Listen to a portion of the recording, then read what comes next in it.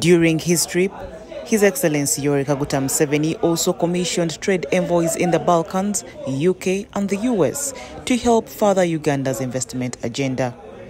In the US, where he was invited by President Joe Biden, Museveni attended the US Africa's Leaders Summit in Washington, D.C. The president also met investors in the areas of trade, tourism, minerals, and security cooperation, among others. The president concluded his trip in the U.S. with the opening of the first ever Uganda U.S. Trade Investment Summit that took place in Chicago. From US, His Excellency made a stopover in the UK again where he met with His Majesty King Charles III at Windsor Castle.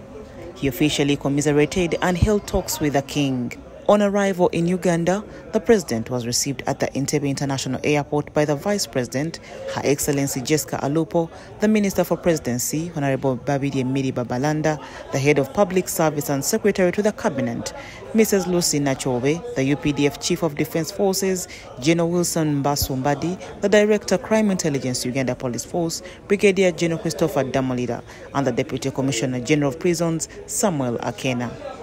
While at the airport, the president was also entertained by crane performers.